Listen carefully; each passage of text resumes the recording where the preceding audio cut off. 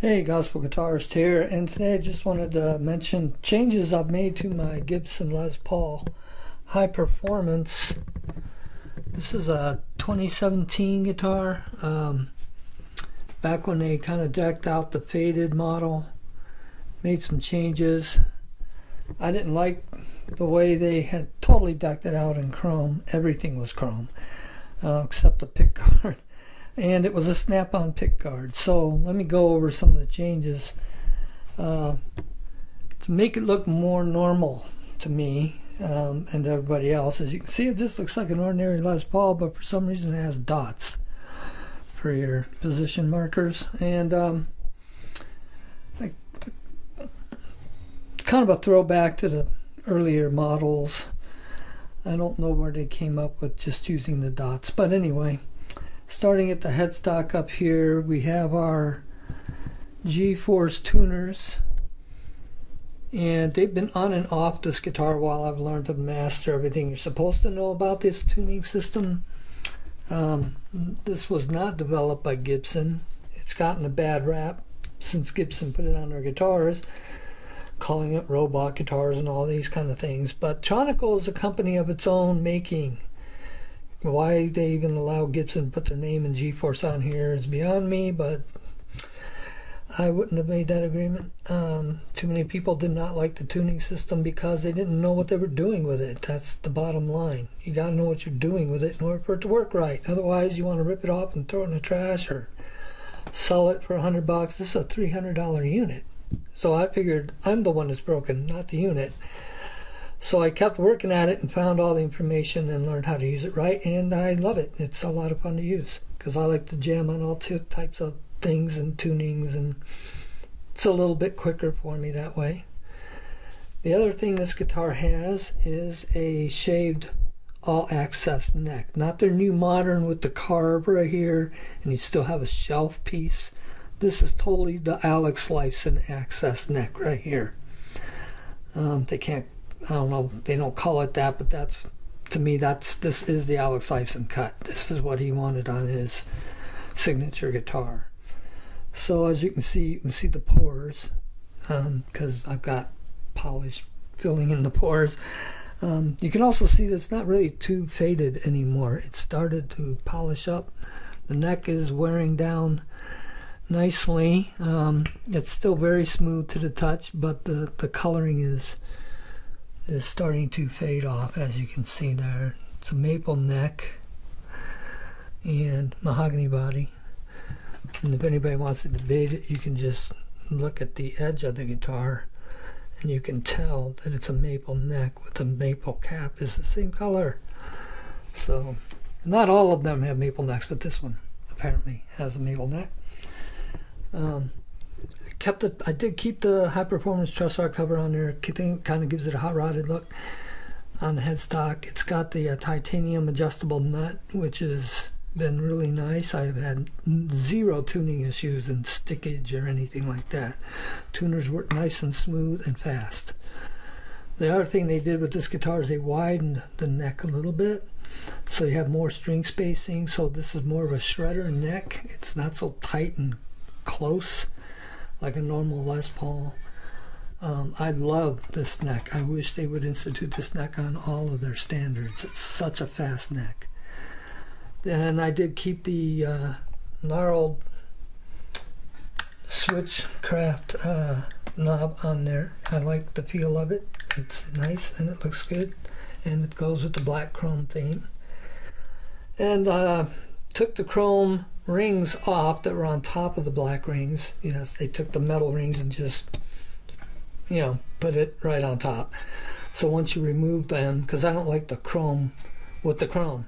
Um, if there are chrome rings and black pickups, which you may have seen in my other videos, I had it set up with some Seymour Duncans for a while.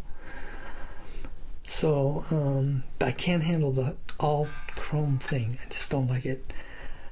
Um, it's got your titanium saddles with locking bridge and tailpiece.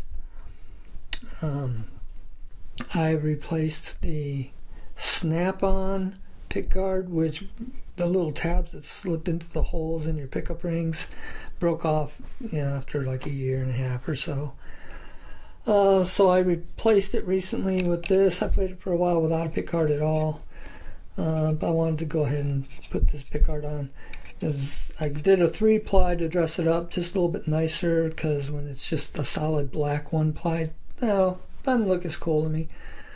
And it's nice to have a real, you know, pickguard on it that doesn't fly off when your hand hits it repeatedly.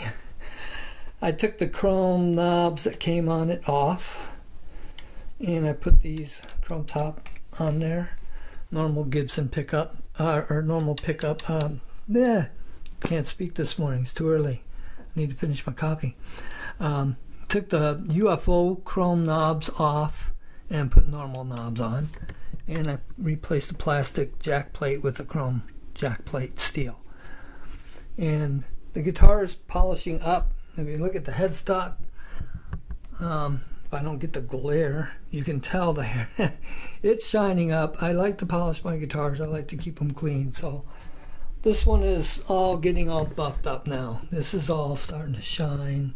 You can still feel the wood and still feel the pores, and but it, it looks like it, I call it a sleeper because it looks like just kind of a downplayed Les Paul. No binding, nothing fancy, not even the position markers are normal.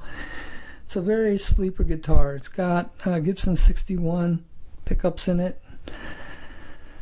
They're pretty hot. Um, I can't go over the whole history of the pickups, but they're um, Burstbuckers, but they're like wound a slightly different, and I guess they're hand wound and overwound. But um, don't quote me on that. Um, there's some research out there that you can look up on other videos for all the details on the 61s. I like them. They're pretty good pickups, so I'm staying with them. Uh, least for now. so yeah, as it looks like a sleeper guitar. Um, like wow. But the other thing I've also replaced on it is all the electronics inside. Um, they've been replaced. The standard board uh, that came in the Gibson with the Gibson uh, quick connect system in there, all that came out. Cut the quick connectors off the 61s, and I put in an Obsidian which I have a video on, uh, an Obsidian wireless control system is installed in this guitar. Um, oh, and it has uh, 50s and 60s switchable wiring on each pickup.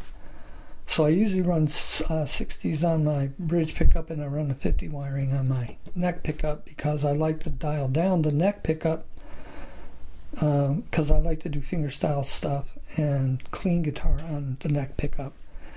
So I want that option to keep all my nice clean highs when I turn it down.